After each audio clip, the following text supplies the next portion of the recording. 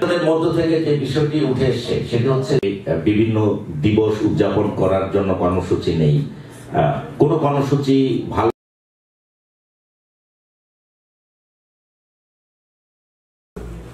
সকল মুক্তিযোদ্ধাদের শ্রদ্ধার সাথে স্মরণ করছি। আমি আমার সোনার বাংলা আমি তোমায়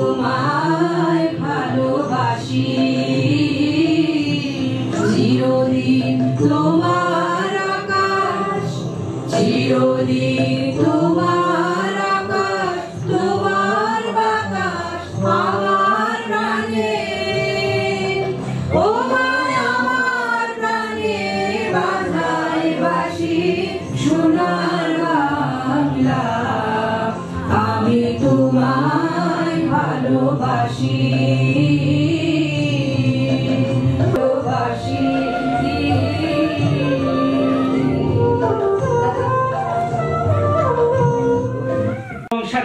সকল মুক্তিযোদ্ধা এবং শহীদের প্রতি শ্রদ্ধা নিবেদন করছি। স্বাধীন হয়েছি কিন্তু আমরা কি মুক্ত হয়েছি?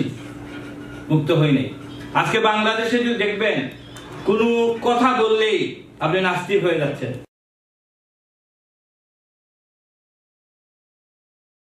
মূলত সত্যি যে কথা। একটা জমায়েত করতে উপস্থিত স্বাধীনতার পক্ষের আপনারা জানেন একন্ড স্বাধীন সার্বভৌমত্ব দেশ বাংলাদেশ। তাই এই স্বাধীনতার এই দিনে আমি শ্রদ্ধার সাথে স্মরণ করছি হাজার বছরের শ্রেষ্ঠ বাঙালি, স্বাধীনতার বাংলাদেশের স্বপ্নদ্রষ্টা, জাতির জনক দু লক্ষ বীরঙ্গনাদের। সম্মানিত পারি আরও করে আগুন যাবার চেষ্টা করি। তবে ইনশাআল্লাহ আগা- আগামীতে আমরা আরও এগিয়ে যাব, আশা রাখি। আপনারা দরিদ্র হবেন আপনারা আসবেন।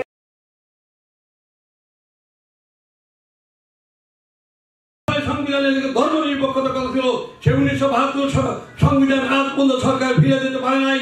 আজ মানুষের দুর বাঙালি জাতির জীবনে একটি অতি গুরুত্বপূর্ণ মাস।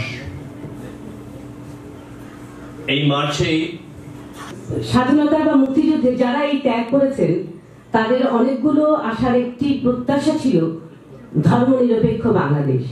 শীতলক্ষা আর আমার ময়ূরাক্ষী তোমার ভৈরব। আর আমার রূপনারায়ণ তোমার কর্ণফুলীর সঙ্গে আমার শিলাবতী, তোমার পায়রা আর আমার পিয়ানো। তো বলার প্রারম্ভেই একাত্তরের মহান মুক্তিযুদ্ধের সকল শহীদ যাদের আত্মদানে আমরা আজকে স্বাধীন এবং জাতির জনক বঙ্গবন্ধু শেখ মুজিবুর রহমান এবং তার পরিবার বিভিন্ন দিবস উদযাপন করার জন্য কর্মসূচি নেই।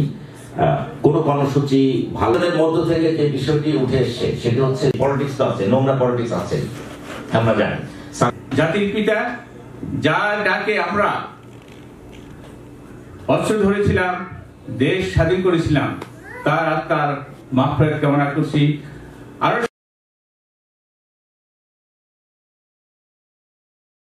এখন আমরা মধ্যসারীর একটি দেশ আমরা সমৃদ্ধির পথে এগিয়ে চলছি। যদিও এটা টেম্পোরারি একটা দুই বছরের জন্য এই অব্যাহত আহ, সূচক আমরা ধরে রাখতে পারলে আগামীতে আমরা উন্নত দেশে পরিণত হব।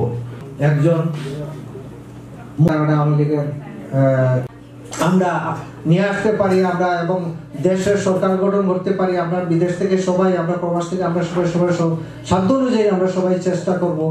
আর আজ বসুন্ধরা